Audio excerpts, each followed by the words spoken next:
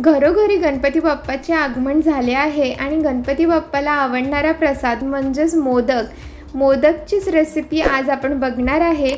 खूप सोप्या पद्धतीने हे मोदक तयार होतात आणि थोडे वेगळ्या पद्धतीचे आहे. म्हणून तुम्हाला पण ही रेसिपी खूप आवडेल. आज आपण तयार करणार आहे रोज मावा मोदक. या मोदकामध्ये गुलाब आणि माव्याचा फ्लेवर दोन्ही पण आहे.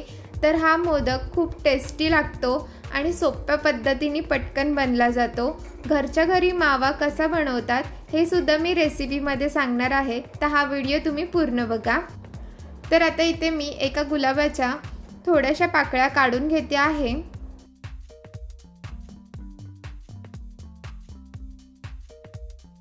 तर आता मी आतल्या साईडच्या गुलाबाच्या थोड्याशा पाकळ्या काढून घेतल्या आहे. ह्या पाकळ्या आपण डेकोरेट करण्यासाठी वापरणार आहे. गुलाबाच्या सुकवलेल्या पाकळ्या दुकानामध्ये पण अवेलेबल असतात. तर तुम्ही डायरेक्ट सुकवलेल्या पाकळ्यांचं पॅकेट विकत घेऊ शकतात.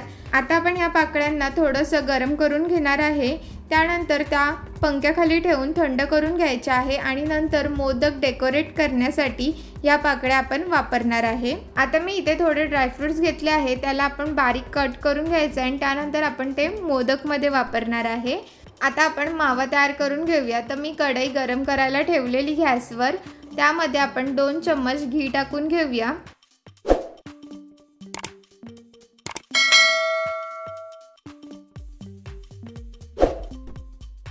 आता आपण इथे घीमध्ये पाव कप दूध टाकून घेऊया आणि पाव कप साखर टाकून घेऊया.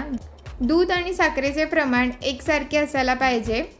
आता आपण एकदा हे सर्व मिक्स करून घेऊया. आता हे सर्व नीट मिक्स झालं आहे. आता आपण यामध्ये मिल्क पावडर वापरूया. इथे मी एक कप मिल्क पावडर वापरते आहे. आणि आपण जसं दुधामध्ये मिल्क पावडर टाकल्यावर हे मिश्रण सारखं ढवळत राहायचं आहे. नाहीतर दुधामध्ये मिल्क पावडर मिक्स होत नाही आणि हे मिश्रण एकसारखं ढवळत राहिल्यामुळे परफेक्ट असा मावा तयार होतो. म्हणून आपल्याला हे मिश्रण सारखं ढवळत राहायचं आहे. जोपर्यंत हे मिश्रण घट्ट होत नाही तोपर्यंत आपण हे ढवळत राहणार आहे. आणि तुम्ही बघू शकतात की आता हे मिश्रण घट्ट व्हायला सुरुवात झाली आहे आणि परफेक्ट असा आपला मावा तयार झाला आहे आता. आता आपण हा मावा प्लेटमध्ये काढून घेऊया. आणि हा आता गरम असल्यामुळे आपण थंड झाल्यानंतर ह्याला मिक्स करूया. तर हा मावा सेट करण्यासाठी मी पंधरा मिनटं बाजूला ठेवून दिलेला. तर मावा थंड पण झाला आहे आणि एकदम परफेक्ट असा मावा तयार झाला आहे. तुम्ही बघू शकतात.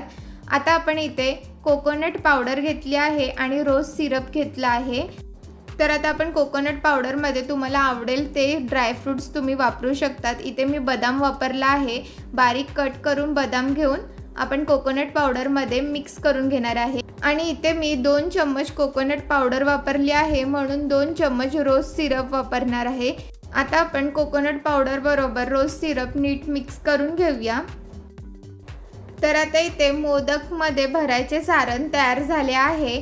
मोदकचा साचा आता मी घेतला आहे. त्या साच्याला आपण घी लावून घेतलं आहे थोडंसं. आता आपण यामध्ये ड्रायफ्रूट्स आणि गुलाबाच्या पाकळ्या लावून घेऊया. यामुळे मोदक बघायला खूप सुंदर दिसतो. आता आपण यामध्ये मावा भरून घेऊया. आता आपल्याला दोन्ही साईडच्या मोदक साच्यामध्ये थोडा थोडा मावा भरून घ्यायचा आहे.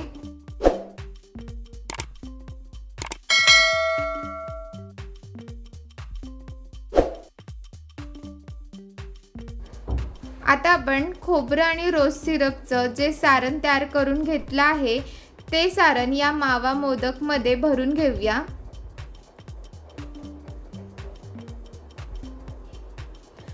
आणि जे एक्स्ट्राचा उरलेला मावा आहे तो मोदक साच्यामधून काढून टाकायचा आहे आणि एकदम परफेक्ट असा मोदक तयार करून घ्यायचा आहे. तर आता तुम्ही इथे बघू शकतात किती सुंदर असा मोदक आपण तयार केला आहे आणि ते पण घरच्या घरी मावा तयार करून. एकदम सोपी रेसिपी आहे तर ही रेसिपी तुम्हीसुद्धा घरी नक्की ट्राय करा. आणि ही रेसिपी तुम्हाला कशी वाटली हे मला कमेंट सेक्शनमध्ये सांगा. आणि तुम्हाला नेक्स्ट रेसिपी कोणती बघायची आहे ते पण कमेंट्स करा. आता मी बाकीचे उरलेले मोदक तयार करून घेते. तर आता सर्व मोदक बनवून तयार झाले आहे. आणि हे मोदक बनवून झाल्यावरती आपल्याला एक तास फ्रीजमध्ये सेट होण्यासाठी ठेवून द्यायचे आहे.